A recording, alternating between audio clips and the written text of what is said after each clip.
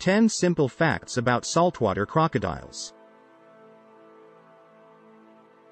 1. Saltwater crocodiles are the largest reptiles on Earth. 2. They are found in coastal regions of the Indo-Pacific. 3. They are apex predators and opportunistic feeders. 4. They are known for their aggression and predatory behavior. 5. They have a strong bite force.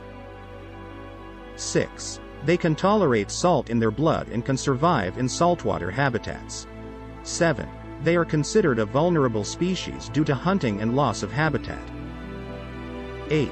They have a lifespan of around 70 years. 9.